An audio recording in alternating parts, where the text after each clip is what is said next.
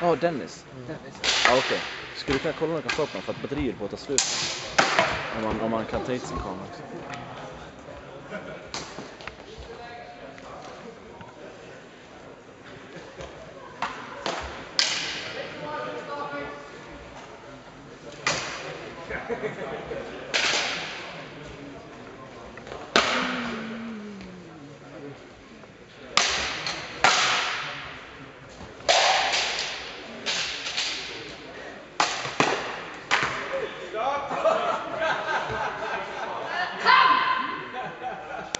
Jag undrar vad Giro sa, man kunde få tag på en så här lokal uppe i Södertälje som någon glada logen som höjde sig 150 spänn för en dag.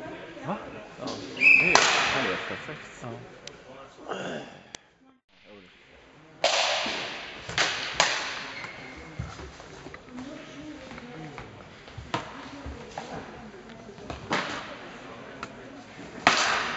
Det är så roligare om man kunde få tillgång till något, alltså, något slott eller någon ruin eller något mittemellan. Eller något sånt. Det hade varit Det skulle vara... Nere vid Jönköping eller sådär, som finns- som ligger så mittemellan.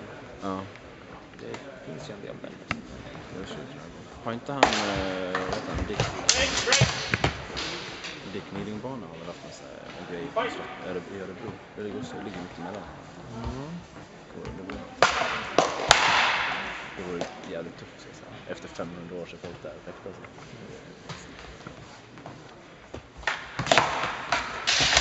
Men Ageos har ju kontakt.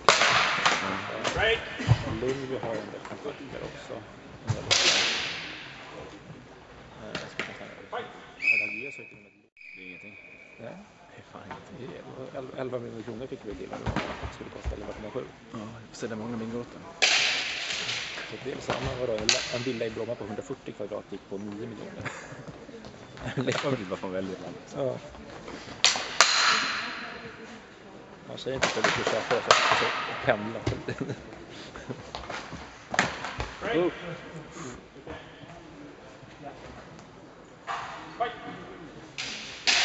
Så Lunde berättade ju om en hemsida, Own- ownisland.com.